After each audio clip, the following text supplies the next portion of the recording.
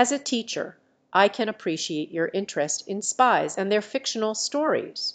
Both Matt Helm and Seven James Bond are iconic characters in the world of espionage.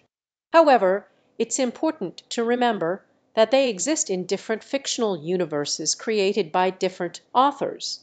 Comparing them as better spies is subjective and depends on personal preferences and opinions. Matt Helm, created by author Donald Hamilton, is characterized as a gritty and realistic spy. On the other hand, James Bond, created by author Ian Fleming, is known for his charm, gadgets, and larger than life adventures. Ultimately, it's up to you to decide which spy you find more compelling and enjoyable to follow.